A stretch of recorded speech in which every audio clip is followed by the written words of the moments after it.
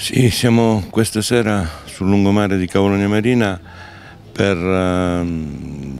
celebrare eh,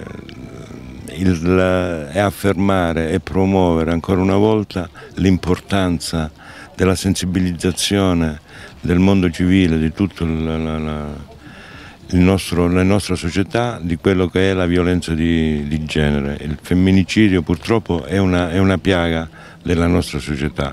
ed è molto importante ricordarlo in questo momento di prevenzione. Al prevenire significa eh, avere la possibilità di stare a contatto le persone preposte, tipo le forze dell'ordine, tipo le varie associazioni, stare a contatto con quella che è la microviolenza quotidiana che nelle mura domestiche inizia a, a germogliare quindi prevenzione assolutamente e poi oggi l'associazione del maestro Giuseppe Cavallo ha, fa un esperimento molto bello, cerca di comunicare le tecniche difensive e questo è un deterrente che sicuramente potrà fare del bene a quella che è veramente una piaga della nostra società. Sappiamo che eh, il, 9 agosto, eh, il, 9 agosto, entrerà in vigore eh, il, la legge, il cosiddetto codice rosso, eh, appena eh, approvato ehm, in Parlamento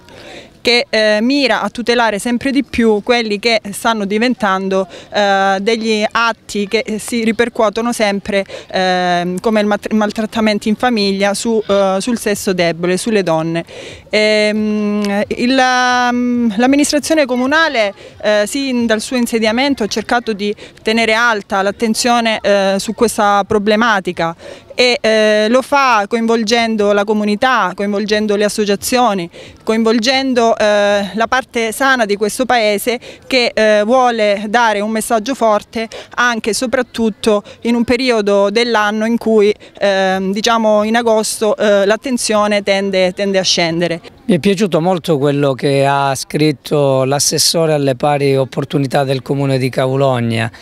eh, la dottoressa Maria Grazia Di Masi, l'avvocato Di Masi, che ha detto che la violenza di genere non va mai in vacanza. E proprio con questo spirito, con questo intento, come Accademia Arti Marziali di Cavologna Sederna e Polisten abbiamo voluto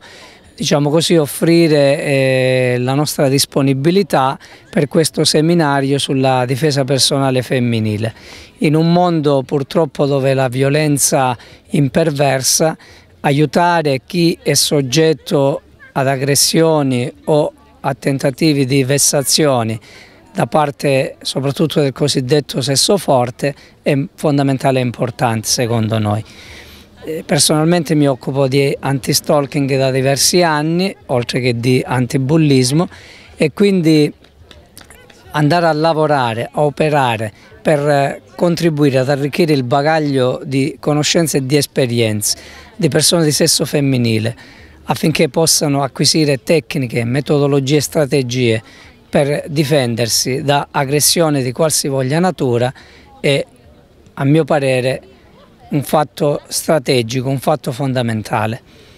Oggi è l'inizio di una serie di iniziative, quindi è la prima di una serie di iniziative che porteremo avanti nel tempo proprio per contribuire ad accrescere